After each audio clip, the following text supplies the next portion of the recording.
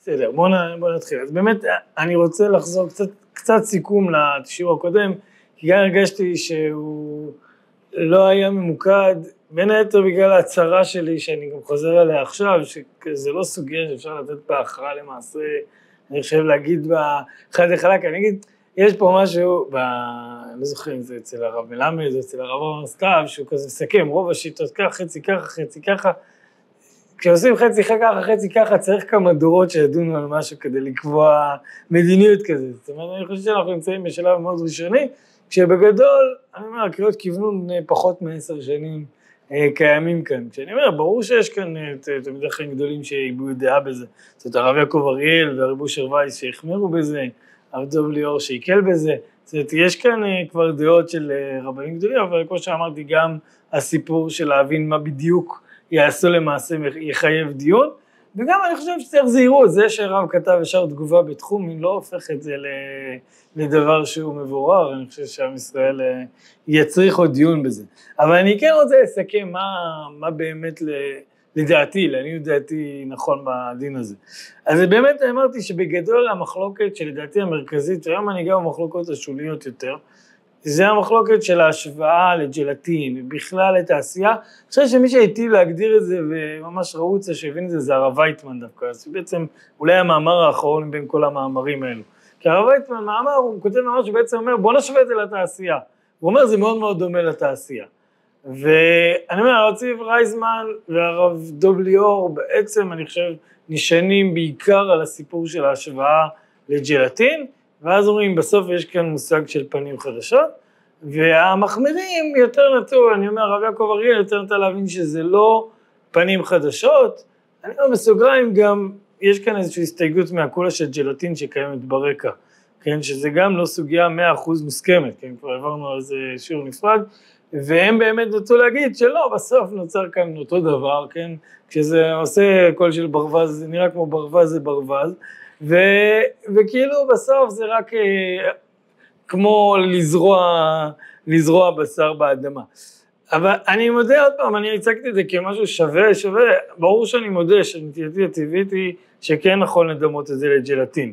מצד שני זה בא עם הכוכבית של ג'לטין, זאת אומרת, הכוכבית הזאת היא קיימת, כל מוצר שאתם רואים שיש בו ג'לטין, יש עליו כוכבית. לא, זה לא כשרות קלאסית, ולכן ברור שאם יצליחו לייצר את זה מדגים, ויצליחו לייצר את זה בצורה שתפתור את הדילמה הזאת, או עוד מעט נדון בבשר וחלב, אבל אם יעשו את זה מבהמה שנשחטה, שזה גם אופציה יחסית בסדר, אז ברור שזה עדיף, כי בסוף בכשרות, ודאי בכשרות תעשייתית, לא כדאי להשאיר כוכבית כזאת כמו של ג'לטין. אבל על פניו אני חושב שהדימוי לג'לטין נכון, ואני גם מזדהה עם מי שטוען שאפילו המחמירים בג'לטין, יש כאלה שינטו לכולה כאן, כי ודאי שהמושג פנים חדשות כאן הוא לאין ארוך יותר פנים חדשות מאשר ג'לטין.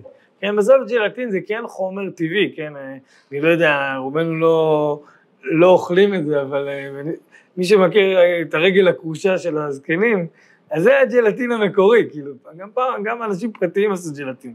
זה לא חומר מאה אחוז תעשייתי, שאפשר לומר שזה לא חלק מהטבע של, ה, של, ה, של, ה, של המוצר. אה, אז לכן אני אומר, אני כן אומר, נטיתי הטבעית להגיד שיש כאן הרבה מה לדמות לג'לטין, אני אומר עוד פעם, גם יש לזה את הבעיה שזה ישיר כוכבית, וגם יש לזה בעיה שזה... אה, שזה אה, תלוי איך ייצרו את זה בסוף, זאת אומרת, זה מאוד מאוד ישפיע על זה. נושא נוסף שגמרתי איתו ואני רוצה להמשיך ממנו, כי הרגשתי שהוא, מהשאלות הבנתי שהוא נשאר פתוח, זה מה שהכנסתי את טעמי המצוות כאן. הבאתי בסוף את הוויכוח, או את ההתכתבות הזאת של הרב אברהם סתיו והרב יעקב אריאל, שהרב אברהם סתיו אמר, מכיוון שיש כאן מבחינת טעם הדין עניין גדול, כי בעצם אנחנו נפטרים מכל החי, אז אה, יש לי נטייה לכולה, ככה הוא כותב, יעקב אריאל מגיב לו, מה פתאום אתה מבין שזה טעמי המצוות. אבל אני מרגיש שלא ביררתי בכלל את סוגיית טעמי המצוות בהלכה. אז נראה את המקורות הראשונים של זה, אני חוזר ואומר, גם זה לא מהסוגיות הכי מבוררות בהלכה, אבל לפחות יש להם מקורות, בסוף, בסוף יש מקורות ראשונים די ברורים. אז באמת הסוגיה הראשונה זה מחלוקת בגמרא. כן, המשנה במסכת סנהדרין מביאה דין שלא הרבה לו נשים אלא שמונה עשרה, רבי יהודה אומר, ומרבה הוא לו בלבד שיהיו, שלא יהיו מסירות את ליבו.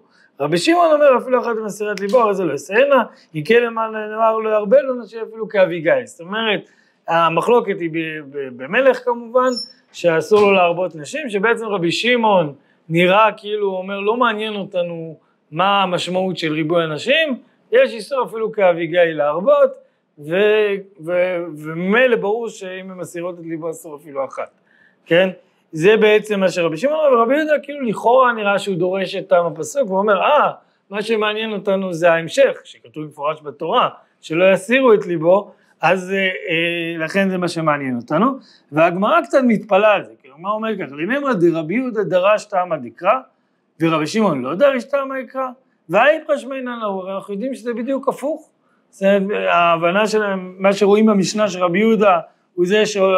שקובע גדרי דינים לפי טעם הפסוק, לכאורה לא מתאים למה שאנחנו מכירים בסוגיית אה, אה, גבייה מאלמנה, דתניא. אלמנה בין שענייה בין שעשירה אין ממשכנין אותה, שנאמר לא תכבול בגד אלמנה, זאת אומרת יש איסור מהתורה למשכן אלמנה, ובעצם הגמרא אומרת, הברייתא, תנא קמא, דברי רבי יהודה בעצם, סליחה אני פשוט יצרתי לפני המילה דברי רבי יהודה, דברי רבי יהודה הם שלא מעניין אותנו אם היא עשירה או ענייה, למה זה צריך לעניין אותנו? כי ההנחה שאם אתה משכן עשיר זה כמו לחתום על טופס בבנק, זה לא התעסקות פרטית, לא צריך להיכנס למפגשים שעלולים להיות אה, אינטימיים עם האישה, עם האלמנה הזאתי, ולכן לכאורה יש מקום להגיד מה אכפת לנו מי שעשירה למשכן אותה, ואומר לנו רבי יהודה זה לא מעניין אותנו, התורה אמרה שאסור אז אסור, לא משנה מה הטעם של זה. רבי שמעון אומר עשירה ממשכנים אותה, ענייה ממשכנים אותה. ואתה חייב להסיע, להחזיר לה ואתה מסיע השם רע בשכנותיה. ועל זה, על הדין הזה, זאת אומרת רבי שמעון כאן, הפוך מהמשנה שלנו, אומר לנו לא, אני מחלק, עשירה מה, היא עשירה באה לבנק, מה הבעיה למשכן אותה, הוא לא בא לבנק, אבל זה לא יהיה משהו שהוא יצטרך אה, לבוא אליה, לקחת לה את הבגד ביום, בלילה, אה, זה נראה רע, אלא במילא יש לה הרבה בגדים, תביא לו משהו אחר מהארון, שלום לישראל, זה ישכב אצלו עד שהיא תחזיר את החוב. אז, אה, אז אה, לכן רבי שמעון אומר אין בעיה עם השירה. ואומרת הגמרא ואמרי על מה היא קמה, הרי כאמר, אה, סליחה, מתוך שאתה ממשכנה אתה חייב להחזיר לה ואתה מעשה אשר בשכנתה, עלמא רבי יהודה לא דריש תמא דקה ורבי שמעון דריש תמא דקה, זאת אומרת המקרה הזה של שומת אלמנה נראה שדווקא הדעות הפוכות, שרבי שמעון מעניין אותו הטעם ורבי יהודה לא מעניין אותו הטעם, אני רק אגיד ש, שב... בחלוקות תנאים, הרבה פעמים אוהבים לתת משמעות, אז באמת מבינים שרבי שמעון הוא מי שרואה את הסתרים, את, ה, את המאחורי הקלעים, לא רק כאן, בהרבה דברים אנחנו מכירים את זה, גם לכיוון, אה, כן, הרב בני בספר עיון, יש לו איזה מאמר שהוא מתייחס לזה, אבל גם בסיפור של, אה, של אה, הרומאים, שהוא אומר, לא מעניין אותי מה אני רואה, מעניין אותי מה הם מתכוונים, וגם בעניין מצוות צריכות, בעניין כוונה, יש הרבה הרבה מאוד גדרים, אז רבי שמעון אומר, מעניין אותנו הכוונה, מה מעניין אותנו? המעשה הוא רק אה, אה, יישום של הכוונה וזה העיקר. בכל מקרה הגמרא אומרת, אז הנה הדעות הפוכות, אז הגמרא מתרצת, בעלמא רבי יהודה לא דריש טעמא דקרא. באמת, רבי יהודה סובר באופן עקבי שלא דורשים טעמי פסוקים, או לא דורשים, אליבא דהלכתא, אני אומר עוד פעם, אני לא אכנס כאן לדיון הראשונים על אה, טעמי המצוות שנתנו הרבה מאוד טעמים, לדיוק הלכתי לא דורשים, ככה לפחות מבינים אה, על פי רוב את הגמרא הזאתי, ושאני יחד מפרש טעמא דקרא. מה הטעם להרבה אנשים? משום להסיר לבבו. זאת אומרת, אומר רבי יהודה, אני לא אומר, אומר שלא דורשים טעם דקרא, אז כשהטעם אנחנו לא יודעים מהו, אז אתה תמציא טעם, ואולי הטעם הוא אחר. אם אני אחזור קצת לדיאלוג הזה בין הרב עמוס לרב יעקב אריאל, אומר הרב יעקב אריאל, למה החלטת שזה הטעם? אני אומר, יש מקום להתעמק בסוגיה שם, האם לא כתוב טעמים הפסוקים, לדוגמה, כתוב על, על אדם שיש איסור לאכול דם כי נפש, אה, כי, כי נפש אוכלת, יש טעמים גם באיסור ויתר, מצד שני, אנחנו יודעים שיש דברים שאומרים עליהם שאין שום טעם, וכי אכפת לו לקדוש ברוך הוא, אם הורגים בעורף או בצוואר, יש דינים בשלמים באיסור ויתר שאין להם, אה, שהם דווקא נמצאים באגף של החוקים בלי טעם, אבל, אה, אבל אני אומר, בכל מקרה, לפי רבי יהודה, מה שהגמרא אומרת, זה שאם יש טעם בתורה, אז כן הולכים עם זה. ומה נפסק להלכה? וזה מה שככה גמרתי את השיר, או מישהו אמר לי מה נפסק להלכה, אמרתי וואלה, בכלל לא אמרתי את זה, אז אני אגיד, לכאורה נפסק להלכה כרבי יהודה.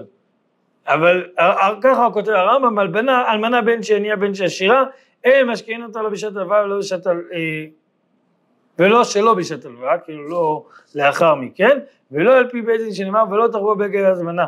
ואם חבל, מחזירים ממנו בעל כוחו, ואם תודה לו תשלם ותקבור תשבע, איבד המשכון נשרף קודם שיחזיר לו כן.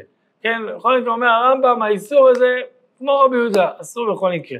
אני לא אכנס כאן לדיון, לכאורה הגמרא אמרה לנו שגם רבי יהודה דורש את המדיקה, נכון? במקרה שזה כתוב בתורה, האמת שהרמב"ם גם בהלכות מלכים לא פוסק על רבי יהודה. זאת אומרת, הוא פוסק יותר קיצוני את הלא דורשים תנא דקרא, אה, הלכות הלוואה, שולחן ערוך מעתיק את הרמב"ם, אז הלכות מלכים כידוע אין בשולחן ערוך, אבל, אה, אבל נראה, עסקו בזה למה הרמב"ם שם לא פוסק על רבי יהודה. אבל זה בעצם אומר שלכאורה ההלכה היא, מה פתאום, תראה ליצור מורחקים מהדין. הבעיה של הדבר הזה, וניסיתי לחפש מישהו שניתח את זה מדויק, אני זוכר שכשלמדתי דיינות, אז ראיתי אצל אה, רז מנחמיה כל מיני פלפולים בעניין הזה. יש לנו המון דינים בגמרא, שלכאורה מרגישים שהטעם נמצא בהם. אחד המובהקים, אולי המובהק ביותר שאני ראיתי, זה הדין שבועת מודה במקצת. בדין שבועת מודה במקצת רבא אומר שלמה התורה חייבה את השבועה, משום שהוא, אה, אה, שהוא, אה, אה, שהוא כאילו אה, לא מעיז פניו, ואז יש שם חלוקה מתי לא מעיז פניו, וכאילו עושים דיוקי דיוקים. עכשיו זה דין דאורייתא, מה פתאום אתה נכנס ל, ל, ל, לפסיכולוגיה של הבן אדם בדין דאורייתא, זה לכאורה ממש טעמא דקרא, אני מודה שאמרתי להתחיל להיכנס לכל הסוגיה הזאת, זה יהיה מסובך, אז הבאתי איזה סיכום של האנציקלופיה התלמודית, שהיא מביאה כמה צדדים של זה, מה שאני חושב שמראה שבסוף זה לא נמחק לגמרי הסוגיה. כן, אני אומר, הוא כותב ככה, אני, הערך הזה באנציקלופדיה התלמודית, שאגב זה גם הרב זלמן נחמיה גולדברג, אני, אני זוכר שבספר שלו, יש לו ספר הלכות של המשפט, אה, אני זוכר, סדרה כזאת ש, של כל סעיף אין סוף דיונים, זה ממש סדרה מקיפה, אה, משפט ערוך, אני חושב, קוראים לזה, יצא בהוצאה של אה, קדומים. אז אני אומר, שם אני זוכר בשבועת מדוי קצת, יש לו ממש למדנות עמוקה בזה, אבל בערך הזה, בתקציר שלו, הם מביאים כמה הסתייגויות של הדיון של תמא דקרא. אז אומר, במקום שבאו ליתן טעם לדבר של תימה, כזו הראשונים שדברי הכל דורשים תמא דקרא, לחלק בדין. שכך, כן, אמר, כן אמר רבי, פני מה אמרה התורה מודה מקצת הטענה שווה. חזקה אין מה יתפלה לפני בעל חובו. ופרשו הראשונים, שאב לחכמים שאין דורשים תמא דקרא, בא לפרש למה אינו נאמן בלא שבועה במיגו. שהיה יכול לקפוא הכל, או שילמד מכאן שאין רואים מיגו. כלומר, אני לא אכנס, כי זה מחייב אותנו מאוד להיכנס ללב הסוגיה, אבל הטענה של מה שכתוב כאן, ואני אומר, זה לדעתי תקציר גם לטענה של מה שהרב זלמן גולדברג כותב בספר שלו בהלכות הלוואה, ש... שכל טענת תשובה מזוני קצת היא, היא חריגה מן הדין, היא לא הגיונית בכללי הראיות. ולכן צריך היה לדרוש תמה דקרא כדי להצדיק אותה בתוך עולם הדינים האחרים. בעצם נוצר כאן מצב שתנא דקרא במקום שהמצווה הזאת חורגת מן הדין, הוא נצרך. אם אני זוכר נכון, שם הוא גם מתפלפל להגדיר שזה לא בדיוק תמא דקרא, אלא דיוק של, של המקום של הדין, כי זה כאילו סוג של סתירה בין דינים. אבל בגדול, אני חושב שזה המודל היחסית קשה להבנה, אבל יש דינים נוספים. הוא אומר, מקום שהטעם הוא פשוטו של מקרא, כתבו הראשון של דברי הכל תורשים תמה דקרא, כגון באיסור לא תחסום שור ביד אישו, שפטור שוטו שהתורה לא הזהירה לטובת הבהמה, כן, כי גם כאן זה גמורות מפורשות שאומרות שאם זה רע לבהמה, אז כן, אה, כן, כן לחסום אותה, אם היא תינזק מזה שהיא תאכל את זה, אז כן, אה, לפיכך, נסתפקו גמרא, ובמה שהייתה אוכלת ומטרזת, שיש לה חולי מים והחיטים קשים לה, אם עובר בלה פצח לחסום, פשוט שאינו עובר, אבל פי שרואה את המאכל מצטער, זאת אומרת, יש מקרים מפורשים בגמרא שרואים שתמה דקרא משחק עניין. זה לא שלא מעניין אותנו למה הבהמה הזאת אסור לחסום אותה. בסוף זה מעניין אותנו, אם אין הצדקה לדין הזה, אז, אה, אה. אז ההגדרה שנתנו כאן באנציקלופדיה תלמודית זה שדבר שהוא פשוט של, פשוטו של מקרא. עכשיו זה כמובן הגדרה שפתוחה להרבה מאוד דיון, אבל אני אומר, אני חושב שזה, שזה זה אולי מקרב אותנו גם לאלו שהצדיקו כאן איזשהו יחס יותר מדהים במקרה של הבשר המתורבת, כי זה גם סוג של, אבל מה, פשוט שבשר עניינו, אני אומר, חזר, חוזר על הפסוק על אדם, כן, שכי נפש הוא אוכל, כאילו ברור שהעניין בבשר בשר זה באמת העניין של, ה, של, ה, של החיות שלו. מצד שני זה יותר ברור בהקשר של שחיטה, בהקשר שאולי של דיני טרפות, בהקשרים כאלו ואחרים, האם זה מצדיק לנו את החלוקה בין בשרים שונים, זאת אומרת האם זה יגיד לנו בגלל זה מותר לעשות בשר מתורבת אה, אה, מחזיר וזה לא מעניין אותנו, אני חושב שזה כבר יותר קשה להגיד, זאת אומרת יש כאן מקום לה, להגיד שזה לא פשט לגמרי, אה, והוא אומר, הוא מביא עוד דוגמה מצוות קבורת המת, לא, לא נראה אותה כבר בפנים. אני אומר, בסוף בסוף אני שואל את השאלה, האם מצדק, מוצדק לדון כאן בטעם הדקרא, או שיש כאן גדרים ואין יצא להם תבונה. אני, מה שניסיתי להגיד שבוע שעבר, ואני לא חוזר בי, שבדבר חדש, יש שאלה גדולה איך מבררים אותו. האם אתה עושה דימוי מילתא למילתא, לוקח, כמו שאמרנו, את היוצא מן הטמא טמא, לוקח את ג'לטין, לוקח כל מיני דינים שביררנו אותם ומצמיד אותם אה, קטן, כאילו ממש בודק שהם שווים אחד לשני. או שיש מקום לבוא ולהגיד, לא, רק רגע, זה בכל זאת דין חדש. אנחנו כן נראים כאן מציאות חדשה, אולי נחזור לטעם הדין. אני חושב שיש מקום לחזור לטעם הדין, אני חושב שעוד פעם, זה, זה לא מאוד פשוט. אני חושב שבסוף בסוף, כן צריך לברר ולהשוות את זה לג'לטין. אגב, באמת בג'לטין היו הרבה שהתירו ג'לטין מטרפות, נבלות, אבל מחזירים לא.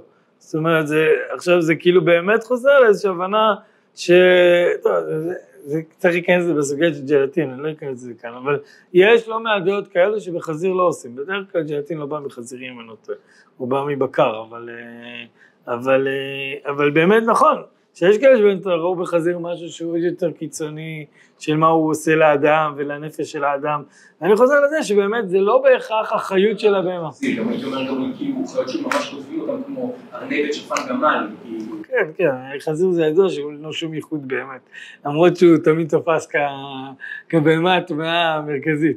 אבל אם נחזור לשאלה שנגיד איבר מן החי כאן שדנו בה, האם אפשר לבוא ולומר שיש כאן איבר מן החי בחתיכת אה, רקמה שלקחו מה, מהחיה הזאת, אולי יהיה מקום לשאלה הזאת של טעם הדין. אני כן יכול להגיד שאם יש שתי דעות, ואתה אומר גם יש כאן שתי דעות ואני נוטה לדעת, אני אומר ההשוואה לג'ילטין, ואז אני אומר גם טעם הדין לכאורה שייך כאן, כי בעצם לא שחטת את הפרה הזאת, זה לא עבר מן החי, זה לא היה חי אף פעם, אז אני חושב שיהיה מקום לצרף קצת את השיקול של טעם הדין. אני אומר, זה הנושא של טעם הדין הוא, אני אומר בסוף בנושא חדש כזה, חייבים לשקול גם דיונים רחבים יותר. ואני אומר, זה לא משהו שקל להגיד עליו מאה אחוז, אבל, אה, אבל אני חושב שיהיה, תמיד יהיה ברור שאם זה משהו מאוד פשוט בטעם הדין, הוא יכול, הוא, הוא, יש לו השפעה, הוא לא משהו שאפשר להתעלם ממנו. אה, מצד שני, אני אומר, כמו שאמרת, חזיר, מי אמר שטעם הדין הוא החיות של החזיר? יכול להיות שעצם הגנטיקה שהחזיר הקדוש ברוך הוא לא רצה, הרי לא גילה לנו מה, מה עניינו בעולם. ואני מסכים שיש מקום להבדיל בין אה, סוגיית עבר מן החי, סוגיית דם או דברים כאלו, לסוגיית, אה, לסוגיית חזיר. עוד פעם, זה, זה לא משהו שאפשר להגיע איתו לבירור מוחלט. טוב, עכשיו באמת הנושא של בשר וחלב, כולם שאלו על זה. כמובן שעוד פעם, ישר כשמשווים לג'לטין, רובם יודעים שג'לטין לא כתוב עליו אף פעם שהוא בשרי. האמת שזה לא היה מאוד פשוט, כי זאת אומרת, זה לא ש... כמובן שאלה שמחמירים בג'לטין, אז גם באו ואמרו, תראו בזה משהו בשרי. אבל באמת, מה היסוד של ההיתר של הג'לטין? אז הרי משה ויינשטיין כותב את זה, משה ויינשטיין כידוע, כמו שאמרתי, הוא מחמיר בג'לטין, אבל הוא כן, רואים עליו שהוא אומר, יש אפשרות לייצר ג'לטין כשר. הוא לא מחמיר במובן הזה שהוא חושב שג'לטין, שלא שייך סברת פנים חדשות, אלא הוא טוען, ברגע שמפיקים ג'לטין, אני אגיד את זה בתקציר, זה שהדעה המקילה מאוד באה ואומרת, ברגע שמפיקים ג'לטין עם איזה חומר כימי, עם משהו שגורם לג'לטין להיות מופרש במצב שכבר לא ראוי למאכל, אחרי זה הוא מותר.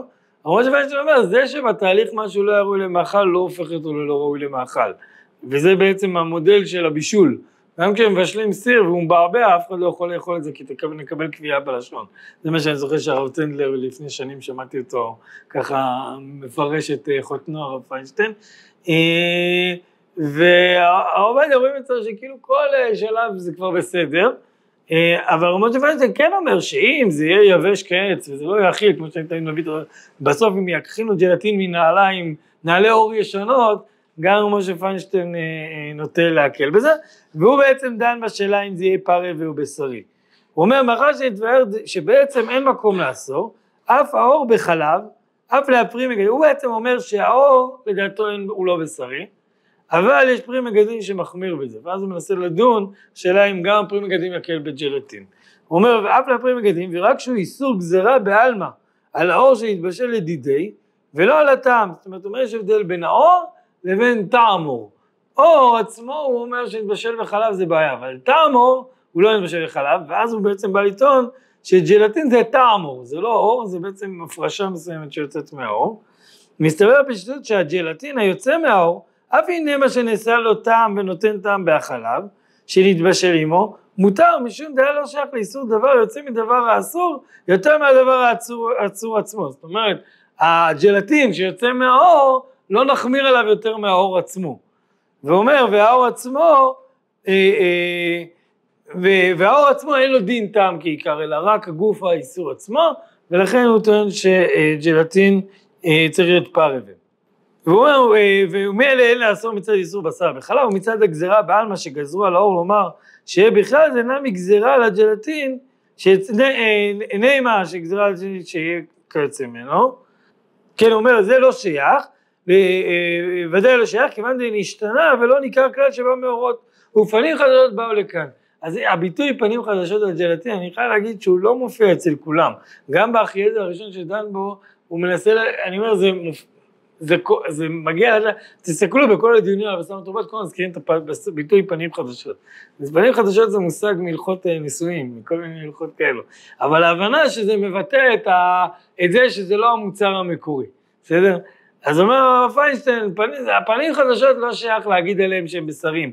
גם אם האור עצמו לא טעם האור, לפי הפרי מגדים אסור לבשל אותו בחלב, טעם האור אפשר, ולכן גם הג'לטין אפשר.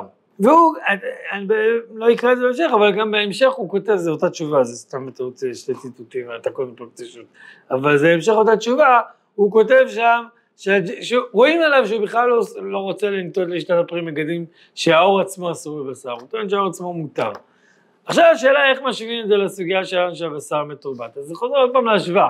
אם הולכים עם הג'לטין והאמירה שזה פנים חדשות וזה הכל משהו חדש לגמרי, אז לכאורה אה, היינו אומרים אותו דבר, זה לא, זה לא הבשר עצמו, זה איזשהו טעם של איזשהו פרש שיצא מהבשר והוא במעמד חדש. כמובן, אם הולכים להבנה שבסוף זה בשר ש... שהרחבנו אותו, אז יש כאן טעם בשר. עכשיו אני אגיד מה שבשר אוטומטי יש קצת צד לחומרה על הג'לטין, שהטעם הוא טעם של בשר. וזה כל מה שמנסים לייצר. אה, מצד שני, יש כאלה שיגידו שהטעם של הבשר נובע מחומרי הטעם שמוסיפים, שזה לא באמת הטעם של, ה... של, ה... של החלקיק שלקחו מה... מהפרה. אני אדבר בהמשך בכלל על השאלה של החלקיק הזה, האם הדיון הוא על החלקיק או על, ה... על כל תערובת החלקיקים, זה גם שאלה בנושא הביטול, אז נפקא מינה קצת גם לבשר וחלב.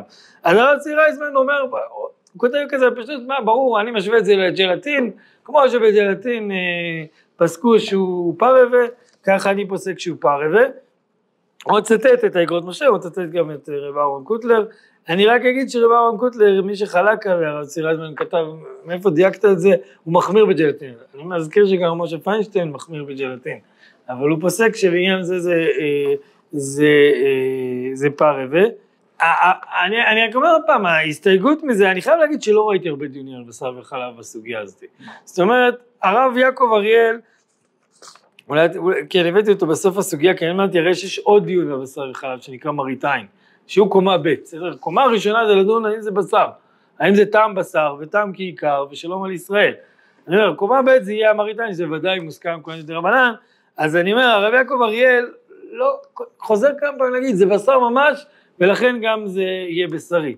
אבל הוא לא דן בזה באריכות, אני אומר, לא היה לי מה לצטט כדי לדיון, אבל אני כן אגיד, לא ראיתי שדנו בזה, שזה לא השוואה מאוד ברורה לג'לטין. אני חושב שיש צד להגיד, גם אם תגיד שלעניין הכשרות, לעניין המעמד שזה קבר מן החי או, או משהו כזה, זה כן מושווה לג'לטין, לעניין בשר וחלב יש כאן טעם בשר. זה בסוף לא טעם, אה, זה לא מעמיד, זה לא איזה חומר שאין בו טעם, שבעצם ככה מבינים שהג'לטין, שהג'לטין הוא חומר שאין בו טעם. אני, אני אומר, נגיד, גם הגלצרין, אם מפיקים אותו מבשר חי, לא בהמה, לא, לא, לא, לא בשר אסור, אז לכאורה, אני חושב שראיתי כמה שכותבים שהוא, שהוא, שהוא פרווה, אני חושב שגם ככה עושים, ליקרים, לא מכיר ליקרים שכתוב עליהם כשר בשרי, ליקרים שיש בהם גלצרין אה, שהוא לא מן ה... מחיה הזה, אבל אני לא בדקתי את זה לעומק. בכל מקרה, לא ראיתי מי שכתב את זה, אבל אני חושב שזו הסתייגות נכונה על הרב צבי וייזמן. השוואת ג'לטין אולי לעניין הכשרות זה דבר אחד, יהיה בשר וחלב, יהיה משהו אחר. אבל מה שהוא כותב בהמשך תפס אותי כשיקול שבעיניי אה, אה, נכון, הוא אומר ככה, ואם תא הגזע ניקח מבהמה טמאה, ודאי שאין בו איסור בשר וחלב, שהרי המשנה המפורשת היא בשר בהמה טמאה בחלב, בהמה טהורה, מותר לבשל ומותר בהנאה. בעצם אין איסור בשר וחלב בבשר של לא חיה כשרה.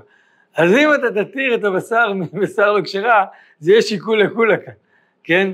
וזה אי אפשר להתווכח, הוא צודק, בסוף לעניין מושג טעם כעיקר, אם זה טעם של בהמה לא כשרה, אז זה ודאי לא בשרי. כן, אני, ואני אומר, ולדעתי זה מה שזרקתי פעם קודמת, ואני, עוד פעם, זה גם משהו שלא ראיתי שמישהו דן, אני חושב, מה יקרה אם מישהו ייצר את זה מחלב? מה יקרה אם ייצרו בשר מתורבת מחלב? אז מה תגידו אז? בסוף זה תא חי, אתה, לוקחים תא חי ותא גזע. יכול להיות שיתחילו לייצר את הגזע מחלב או, או מהטינים, אני לא יודע מה, מה יהיה המעמד שלו אז? זאת אומרת, ההתהפכות הזאת מבשר טמאה, הוא רגע חוזר להבין שבאמת פנים חדשות מייצרות משהו אחר לחלוטין, שקשה מאוד להשוות אותו לדבר המקורי. ולכן אני חושב שזה זה, זה בעיניי אה, אה, ראייה טובה להגיד שאם בסוף אתה אומר פנים חדשות, גם אם בשר בהמה טמאה, ברור שאתה לא יכול להגיד שיש כאן בעיה של בשר וחלב. כן, אם אתה אומר שזה פנים חדשות, אבל עדיין יש כאן טעם בשר, שבבשר בהמה טהורה, אולי יש מקום לסברה הזאתי, אבל באמת, ואני אומר פעם, לא ראיתי מי שפיצל, ולכן מי שמשווה לג'לטין, אני אומר גם הרב דור ליאור נראה לי בהקלטה הקצרה המפורסמת שלו, שלחתי את הלינק בדף הקודם, כאילו הוא אומר שאין בעיה של בשר וחלב. נראה לי גם הרב אבינר ראיתי מאמר שלו שהוא כותב את זה בפשטות כזה. זאת אומרת שברגע שאתה סובר שזה מושווה לג'לטין, ואתה מקבל את של ג'לטין, אתה הולך לזה ואני אומר באמת הסיפור שדווקא בבשר בהמה טמאה אין דין בשר וחלב, הוא מחזק מאוד את הכיוון הזה. אבל מה כן, כמו שאמרתי, יש סוגיה שלמה בדיני בשר וחלב של מראית עין. זה לא סוגיה, זה סוגיה שמופיעה בשולחן ערוך. ולכאורה השאלה אם כאן זה רלוונטי. זאת אומרת, ומה מה כתוב בשולחן ערוך? אינו נוהג על הבשר בהמה טהורה בחלב בהמה טהורה, כמו שהזכרנו לפני רגע בציטוט שהוא מצטט מהמשנה, אבל זה גם בשולחן ערוך פוסק את זה. אבל בשר טהורה בחלב טמאה, או בשר טמאה בחלב טהורה מותרים בבישול ובהנאה. ובשר חיה ועוף, אפילו בחלב טהורה, מותר בבישול ובהנאה. עוד פעם, לא באכילה, כי זה אסור מדרבנן לאכול, אבל זה, מותר, אין בזה איסור בישול. ואף באכילה אינו אסור אלא מדרבנן. אבל דגים וחגבים אין בהם איסור אפילו מדרבנן. מותר לבשל דגים בחלב, כידוע זה סתירה בין הבית יוסף לשולחן ערוך, וזה נושא שלם של הספרדים והזה, זו סוגיה לא ניכנס אליה, בית יוסף כותב שהוא, אם, אם הטור היה יודע שבזוהר כתוב את זה, אז ככה הדין, אז יש כאלה מתווכחים שבכלל זה לא מה שכתוב בזוהר, וסוגיה מסובכת. בכל מקרה, השולחן ערוך, הוא לא פוסק את זה. פוסק שחלב, אה, דג בחלב מותר. אה, והרמ"א מביא, ונהגו לעשות חלב משקדים ומניחים בבשר עוף, הואיל ואינו רק מדרבנן. אומר חלב שקדים, ובשר עוף אין בעיה. למה? כי זה בשר בחלב, עוף בחלב הוא דרבנן, אז עוף בחלב שקדים, זה לא צריך להחמיר. אבל בשר בהמה, יש להניח אצל החלב שקדים. משום מראית כמו שהתברר סימן חבב לעניין דם. לעניין דם זה, זה גמרא, הגמרא אומרת שדם, אה, אנחנו הזכרנו אותו כשלמדנו את ענייני הדם, שדם דגים וחגבים מותר אה, אה, לאכול אותם, אבל, אבל יש שם בעיית מראית עין. אז אומר הרמ"א, גם בבשר בחלב שקדים, או, כאילו זה יש בעיה של מראית עין. לעומת זאת, עוף בחלב זה אין מראית עין. אז בעצם מה שיוצא מהרמ"א לפחות נראה, שבדיני דה רבנן, כאילו בדינים שאם הם היו המקור, וזה היה איסור רק מדה רבנן, אפשר, אה, אה, אין בעיית מראית עין, אבל אם לא, אז יש בעיית מראית עין, שעוד פעם זה לא לא פתיר, אפשר לשים חלב, כאילו אפשר לשים סימן, כן, הסימן הזה של השקדים. אז אני יודע, אולי בבשר מתורבת, יצטרכו לשים, אה, אנשים שואלים לפעמים את זה היום, אני אומר זה לא קשור רק לבשר מתורבת, כמובן יש איזה דיונים שלמים עם אה, שתי הכיוונים, גם בשר לא מתורבת, אה, מה שנקרא ביונד מיט, הבשר הזה, האם אפשר לאכול אותו עם גבינה צהובה, או הפוך, לקחת גבינה של טבעונים שנראית גבינה צהובה לכל דבר ועניין, ולשים אותה עם אה, בשר אמיתי, כלומר הטבעונים אה, זה חילול הקודש מוחלט, אבל, אה, אבל אנחנו לא דנים בשאלה של לפחות טבעונים, אני אומר, אז, אז, אז לכאורה זה הדיון, זאת אומרת, אם לוקחים משהו שהוא היה, אם הוא היה אמיתי הוא היה איסור דאורייתא, אז יש חשש מראיתיים, ואם לא אז לא, לכאורה זה פשט הרמ"א, בסדר? אז בצ'יזבורגר כזה, אז לכאורה יש בעיית מראיתיים, אבל כן הרי מה אומר שאפשר לשים שקדים. מה, מה אמורים לשים? זו שאלה טובה, אבל צריך לסמן את זה. צריך לסמן את זה בצורה ברורה. אולי זה קצת כמו התרגיל שעושים עם הבורקסים. כן, יש את הבורקס, כידוע בורקס אה, אה, גבינה הוא משולש, ובורקס פרווה הוא מרובע, לפחות ככה היה פעם. פעם, הבדיחה הייתה פעם, מי שסיפר לי שהיה בצבא איזה אירוע גדול, אח שלו היה רב צבאי, ואני חושב שזה היה בבעלס, לא משנה. בכל מקרה, הגענו אירוע גדול, ואז הוא מגיע, רואה אה, בורקסים מרובעים שהם חלבים. בא הרב, אומר, זרקו הכל. אז, אז לא הבינו, בא אליו הסמג"ד שארגן את האירוע, אומר לו, מה, מה, מה הולך כאן? אז הוא אומר לו, תקשיב, אסור לעשות אה, בורקסים מרובעים כשהם חלבים. אז הוא חושב, חושב, חושב, אומר לו, סמג"ד, תגיד, ואם אני אחתוך את ה... את המלבן הזה באמצע, זה יהיה שתי משולשים, זה בסדר? הרב חשב, אמר, אתה בסדר גמור, אבל באו במטבח, חתכו את כל הבורקסים באמצע, ופתרו את הבעיה. אני אומר עוד פעם, זה כמובן, אני לא יודע להגיד מה, מה, מה הוליד את הלכות כשרות הבורקס החלבי, אבל לענייננו, אני חושב שכולם יסכימו שאנחנו מדברים על דין מראית עין שסימן יעבוד בו. אבל אדם שילך ל... לא יודע, למקום שאוכלים בשר כזה, לא כשר, ויאכל צ'יסבורגר כזה, ודאי שהוא בבעיה של מראית עין, יכול להיות שאם יתחילו לייצר כמו הבורקס משולש, יעשו צ'יזבורגר משולש, תמיד הוא כשר, אף אחד לא אוכל שזה משושה, בסדר? ימציאו צורה שכולם יודעים שהסוג הזה של לחמניה היא לא זה, אז זה יפתור את הבעיה, או שאפשר לפתור את הבעיה המקומית, כמו שכותב הרימה, לשים שקדים. לקחת חלב סויה, לקחת, אה, לשים על השולחן ליד זה וככה להתיר את זה. אני אגיד ככה, הרי מה לכאורה אמרנו מחלק בין מצב שזה דומה לאיסור דאורייתא לבין שזה דומה לאיסור דה רבנן, כן? השח כותב כאן שזה לא נכון שיש מראית העניין באיסורי דה רבנן וחלק מהאשכנזים החמירו בזה. הרב עובדיה לעומתו אומר גם לא נכון, לא, אין מקום להרחיב את, הדין הזה כי כמו שאני אומר בסוף בגמרא מה שמופיע זה לא בשר בחלב שקדים, מה שמופיע בגמרא זה דם, אה, כוס של דם אה, דגים, כן? זה בעצם מקור החשש של מראית עין. אז באמת הרב עובדיה מביא על זה, הוא מביא תשובת רשב"א מאוד מעניינת, ואני אומר, זה, זה בעצם מכניס אותנו לדיון עד כמה צריך עם הרימה עד הסוף. האם תמיד יש מראית עין, לנצח יהיה מראית עין, או שיש משמעות לשאלה כמה אנשים רגילים לזה. לדוגמה, היום טבעול זה דבר מאוד מצוי. כל אחד רגיל לנקניקיות טבעול, כל אחד יודע להריח את הריח של נקניקיות טבעול. האם להכניס נקניקיות טבעול לארוחה חלבית זה, זה מראית עין? זה, זה, זה באמת שאלה אם יש השפעה למציאות. אני חושב שבייחוד שהרימה הוא מציע לשים שקדים, היום אתה לא יכול לשים שקדים, אף אחד לא יודע מה חומר גלם, לא יודע, אנשים לא יודעים איך נראה סויה בכלל. אז עשינו להם סויה על השולחן, הם לא ידעו מה זה. אבל יכול להיות שזה גם גורם לכך שהדין הזה, באמת יש לו, יכול להשתנות. אז באמת הרב עובדיה כותב, מביא תשובת רשב"א, אה, הוא מביא את השח והוא טוען שהרבה אשכנזים לא, כאילו הלכו עם הרמ"ר, שלא, כן להבדיל בין איסורי דאורייתא, בין דמוי איסורי דאורייתא לדמוי איסורי דאורייתא, אז אנחנו מדברים על משהו מותר, כן? אז אומר הרב עובדיה ככה, הוא אומר שלא גזרו חז"ל משמראית האלה כגון שתיית דם דגים שכנסו בכלי, כמבואר בכריתות, כי זה מה שמופיע בגמרא. שאין הדבר מצוי והרואה לא יתלה שזה דם דגים, אלא עכשיו שהוא דם בהמה ועוף שאסורים. וכן חלב אישה כנוס בכלי אינו מצוי. ואם יאכל היום בשר יחשדו שהוא אוכל בשר וחלב, כמו שכתב הרשב"א בתשובה, ולכן חשוב לעשות משום מראית עין, אבל חלב, אני חושב שזה אבל ולא אכל, אבל אני אה, לא בטוח, אני לא פתחתי, יש ספרים שאף אחד לא פותח את הספרים בפנים, עוד לא ידעו איך הם נראים, אבל שו"ת עם פרויקט השו"ת, אה, הוא המקור סמכה, ואני די בטוח שכנראה זה, זה אבל, אבל בכל מקרה, אחר חלב שקדים שהוא מצוי, אני חושב שזה אבל, אבל חלב שקדים שהוא מצוי ורגילים לבשלו עם בשר, והוא מותאם מאוד, אין לחוש במשום מראיתיים כלל. ועוד שחלב שחטים לא נקרא חלב, זה ציטוט של הרשב"א, כן?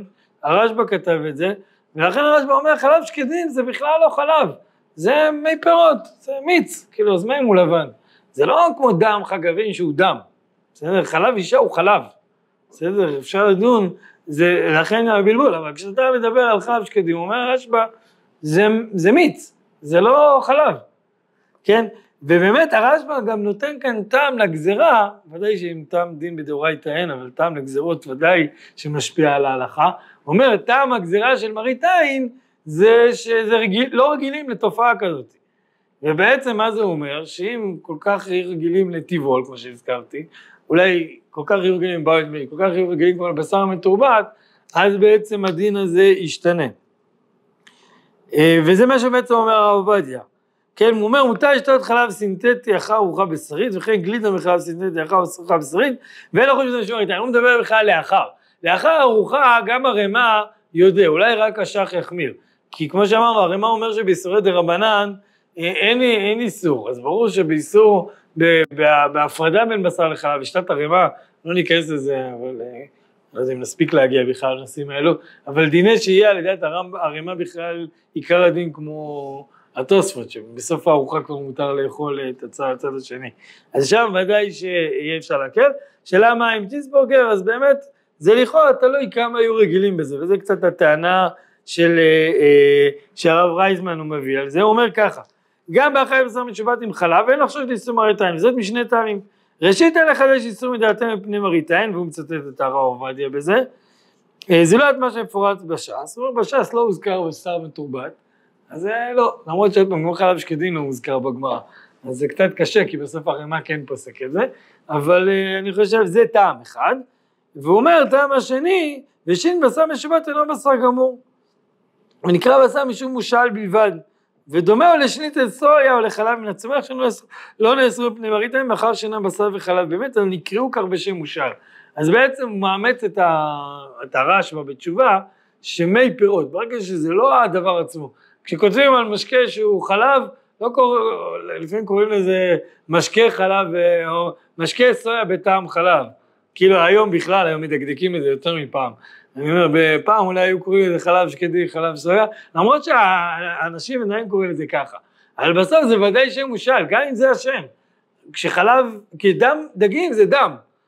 אה, חלב סויה זה מי פירות. ולכן הרב רייזמן טוען שלא יהיה כאן מישהו מראיתיים. אני אומר עוד פעם, אני חושב שהשאלה הגדולה תהיה כמה זה מצוי. כשדיברתי עם הרב רייזמן קצת על זה, אז הוא אמר לי שברור שזה חלק מרכזי מהדיון של מראיתיים. אם בכל העולם יהיה כל הזמן, אני אומר, כולם יאכלו, הגבינה הצהובה הזאת של הטבעונים תהיה בכל מקום, אז אה, לא צריך אולי שזה מראיתיים, אבל כשזה דבר מאוד נדיר, ורוב הרועים אה, ירימו גמה, אז אה, באמת יש מקום למראיתיים. ובעניין הזה אני חושב שיש באמת הבדל בין צ'יסבורגר מחלב, מגבינה טבעונית, לעומת אה, מביונד מיט או מטבעול ודאי, כן? צ'יסבורגר מטבעול זה לא צ'יסבורגר, כן? זה לא... אף אחד לא באמת חושב שזה עשה, כן? אבל מביונד מיט זה נראה מאוד דומה, אולי יש אה, יותר בעיה של מראיתיים, וזה באמת הרב יהודה בצלאל שפיץ שיש לו מאמר נגד הרב צי רייזמן אז אחד מהטענות שלו עליו, הוא אומר, מה פתאום לפי הרימה, אה, אה, אה, הוא מביא את הטעם של הקריטי פליטי, שזה לא הזכרתי, זה כן, זה הרבה יותר נייבשיץ, שאומרת בעצם מה שאמרנו כך, שכל הפוסקים הזכירו שדבר שהוא נפוץ רגיל, אין חוששים למראית עין. אבל אז הוא טוען, אז, אז מה הוא אומר על בשר מתורבת?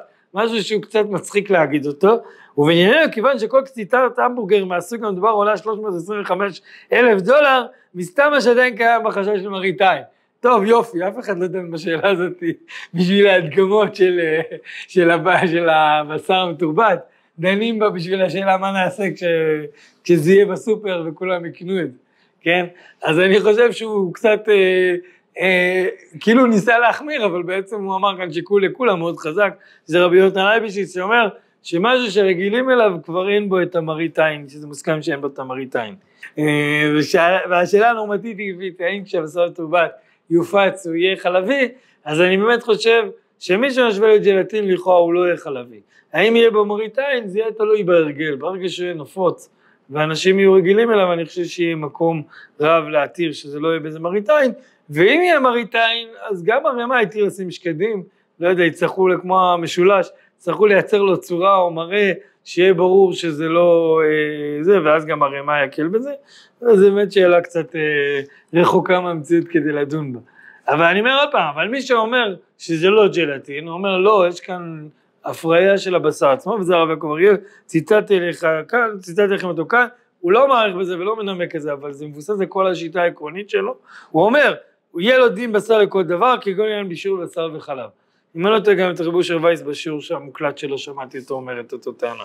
הוא אומר, בסוף זה בשר, לא מעניין אותנו כלום. אני כן אומר, בוא נראה מה הוא יעשה אם יעשו את זה מנזים של חלב, מה יקרה אז? האם גם אז הוא יגיד שזה בשר, אבל אה, אני לא יודע אם אה, זה סטארט-אפ יותר מאשר, אה, מאשר סתם פשוט אני מעלה את זה בדמיון כחלק מהדיון, כמו שאמר כאן הרב רייזמן, אתה הולך להתיר לי, אם תתיר לי לעשות את זה עם בשר, אה, באמת מה, איך תוכל להגיד לי דין בשר וחלב? כן, אז, אה, אז באמת קשור לשאלה הזאתי, אבל הרב יעקב אריאל עקבי לשיטתו, שזה בשר, אז אה, אה, יהיה כאן דין בשר וחלב. אני אגע בביטול איסורים, כי כולם עסקו בזה, אני מאוד מרגיש שזה, שזה, שזה לא עומד, זאת אומרת, מה זה דין ביטול איסורים?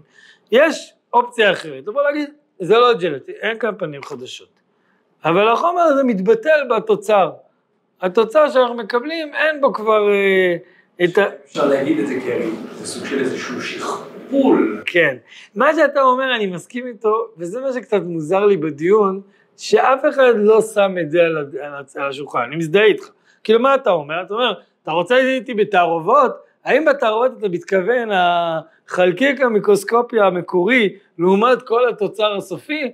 זה ברור שזה בטל, ולדעתי כולם יסכימו שזה בטל. שאלה, האם אתה בא לדון איתי בשכפול שלו, האם גם הוא בטל? ולכן אני מרגיש שזה לא עיקר הדיון, כי בעיניי עוד פעם, הדיון על השכפול חוזר לדיון היסודי, ולכן הדיון היסודי נמצא בהשוואה לג'לטין. אה, אבל, אה, אבל אני כן אגיד שיש לזה נפקא מינה, כי אם לדוגמה תגיד אני רואה באיזה בשר, אני זה, אבל בסוף זה משהו שהוא מעורבב במלא חומרים אחרים, ואז אולי הרב יעקב אריאל תדע שזה לפחות מעורבב, כן? וזה, וזה לכן באיזשהו מקום הדיון על ביטול איסורים יותר נידון בצד המחמיר, בצד שסובר שאין כאן אה, אה, פנים חדשות. למרות שצד שני אני אומר, הרב צבי רייזמן ביסודיות שלו, במאמר המקורי שפתח, שם על השולחן לראשונה, אני חושב את הדיון היסודי, עוד פעם אני לא יודע לחקור את כל כתבי העת שיצאו, אולי מישהו הקדים אותו, אבל בתחום הוא ודאי המאמר הראשון שכולם הגיבו אליו, הוא ישר פתח ולתקוף את הסוגיה הזאת של ביטול איסורים, לכם את זה בשתי נקודות, כי זה לא ייכנס לכל הדיונים שלו, אבל בואו נעבור על היסודות שהוא מביא. הוא אומר ככה, דיני ביטול איסורים מתערבת לך בלך, נתבערו בהלכה בסוגיית הגמרא הפוסקים, וסיכום ההלכה בקצרה בדברי הרמב"ם. הכוונה לך בלך זה שזה תערובת שמתערבבת, אם אני זוכר נכון, דיברנו על זה, שיבש ביבש זה תערובת שבסוף החפץ האסור נשאר קיים, אבל פשוט אנחנו לא יודעים לזהות אותו, לעומת זאת ההלך בלך זה שהכל ביחד מתערבב, זה כאילו כמו נוזל, שזה לא בהכרח נוזל, זה יכול להיות גם בדברים יבשים שהם דקיקים וקטנים כמו קמח וכדומה. אז אומר הרמב"ם כך, השאר איסורים שבתורה כולן, כגון בשר שקצים ורסים וחלב ודם וכיוצא בהן, שיעורן בשישים. זאת אומרת, משהו שהוא בשר מתערבב לגמרי, הוא בטל בשישים, כן? כי כיצד? כזית חלב כליות שנפל לתוך שישים, כזית מחלב העלייה, מחלב, סליחה, סליחה, הכל כאן חלב, גם קודם. תמיד הבעיה בחלב וחלב זה שזה לא מנוקד, אז קודם צריך להבין את ההקשר ואז לדעת. אז כיצד? כזית חלב כליות, שהוא כשר, חלב ובסוף זה שומן, כן? שהיא נפלה לתוך שישים כזית מחלב העלייה. הפוך, הפוך, הפוך. חלב כליות, הפוך, החלב העלייה מותר. חלב העלייה מותר. אני מודה שבכלל ענייני חלב זה לא מהסוגיות שאנשים מתעסקים בהם כי מנקרים אותם למעלה, הם שייכים לשישים סימנים הראשונים של, של יורדיה ש, שבקושי נוגעים בהם. בכל מקרה, חלב כליות שהוא האסור, שנפל לתוך 60, זאת אומרת יש פי 60 ממנו, כזה התחיל העלייה, הכל מותר. נפל לפחות מ-60, הכל אסור, זאת אומרת כל הזה מקבל טעם מהחלב והוא אסור. וכן נפל כשעורה חלב, צריך שיהיה שם כמו 60 שעורה, וכן בשאר איסורים, זאת אומרת היסוד הבסיסי ביותר של תערובות לך בלך, זה בטל ב-60, שבטל ב-60, כמו שהגמרא, אני אומר, הממרה היסודית בגמרא, הוא ציטט את הרמב"ם, אבל הממרה היסודית בגמרא, אם אני זוכר נכון, זה בדף קא, הממרה של רבא, של איסורא בתמא, אה, סליחה, היתרה בתמא, איסורא בכפלה, ומין במינו בטל ב-60. כלומר, דבר שהוא מותר, רק מותר לחלק מהאנשים, כמו תרומה שמותרת לכהנים, אז הכהן יכול לתרום את זה, זה היתרה בתמא, זה בהיטל בטעם. איסור הדבר שאסור לאכול, אז גוי יכול לתרום אותו, אז בטעם גוי. זה בעצם בדיקה נותן טעם, ודבר שמין במינו, זאת אומרת בסוף זה אותו טעם, הטעם של חלב הכליות וטעם של חלב העלייה הוא אותו טעם, אתה לא יכול לדעת מה ההבדל. זאת אומרת אם ניכר את הביילן מיט, בסדר? את, לא את הביילן מיט, את הבשר המתורבת, והוא יהיה דומה מאוד לבשר רגיל ותערבב אותו, אתה לא תדע את הטעם, זה בטל בשישים. כן? אז בעצם הכלל של ביטול בשישים זה, אה, אה, זה, זה בעצם הנתינת טעם, ואז אומר הרב אה, צבי רייזנר, לפי זה מעידון לדן, אפילו אם להכנת הבשר המשובט נלקחת שאסור לאכלו. בין מישהו שיקח במה שני התורה, בין מישהו שנחשב כאיבר מן החי, אתה לא יאסור את הבשר, שכן ודאי שבתערובת אתה עם שאר המרכיבים, חלבונים, סוכרים, חומצות, שומנים ועצות ים, יש שישים היתר כנגד האיסור, שהרי אתה אינו ניכר לעין כלל, וכן אתה אסור מתבטל בהיתר. עכשיו לעניין מה שהזכרנו קודם, על מה הוא מדבר כאן? רק על החלקיק הראשון. מצד שני, מה שמוזר זה שהוא לא אומר שזה בטל בחלקיקים האחרים, בוא נגיד את זה בצורה יותר פשוטה. מי בדיוק אוכל את החלקיק הראשון? אף אחד לא יודע, זה נשאר איפשהו על רצפת המעבדה. תחשבו אחרי מתי, אחרי כך וכך זמן שמרבים את זה, לא יוסיף, אני לא יודע, אני מניח שהתעשייה תבנה את כל הייצור של זה לא על בסיס כל הזמן להזין את זה מחיות, אלא כמשהו שהוא נולד מנולד, כן, זה קצת מזכיר לנו, וזה לדעתי מה שהרב וייטמן אמר, בסוף זה מאוד דומה לעולם התעשייתי בכלל.